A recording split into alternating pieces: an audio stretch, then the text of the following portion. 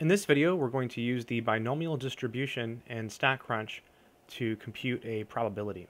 So the question is over here, number three. It says, at a particular school, it is known that typically 65% of students pass biology. So we're told that P is equal to 0.65. Either a student passes biology or does not. So there's two possible outcomes.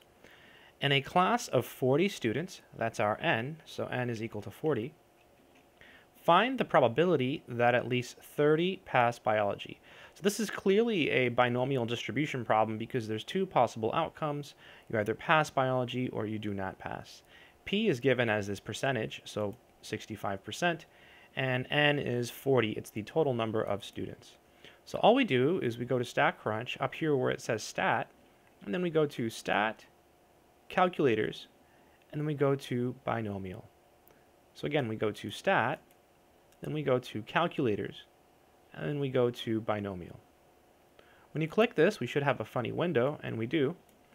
Here, n in our problem was 40 because we had 40 students.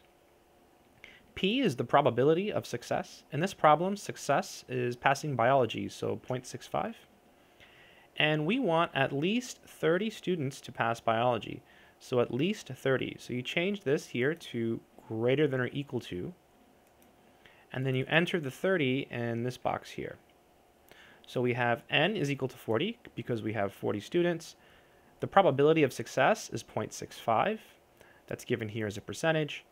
And we want at least 30, so greater than or equal to, to pass biology. So all we do now is click the compute button and we should have the answer.